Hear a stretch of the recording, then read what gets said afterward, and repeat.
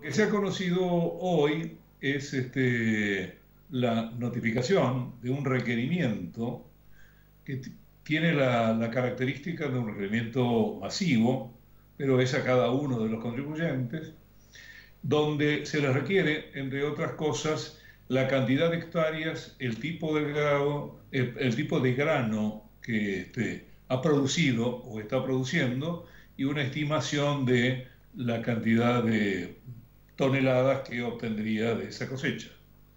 ¿Esto es habitual que se pide en estas épocas? Eh, ¿Cómo, ¿Cómo, funciona habitualmente este tipo de informaciones? No, no, esto no, es, no tiene nada de habitual. Eh, está dentro de las facultades del fisco hacerlo, pero no es habitual. ¿Y está planteado en términos de obligatoriedad o, es voluntario? No, no, nada de voluntario.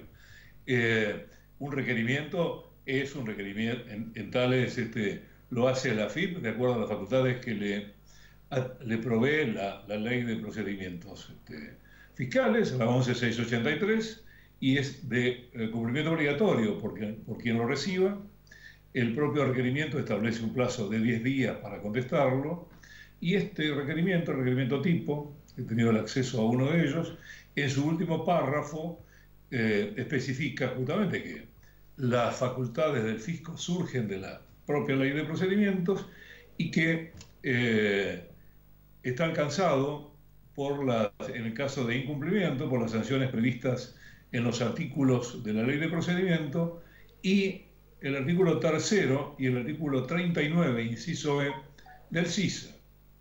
Y en esto me repararía y detendría un segundo porque lo que está diciendo el requerimiento es, en el caso de incumplimiento, al requerimiento de tiempo y forma, el fisco eh, modificará la calificación en el scoring del productor.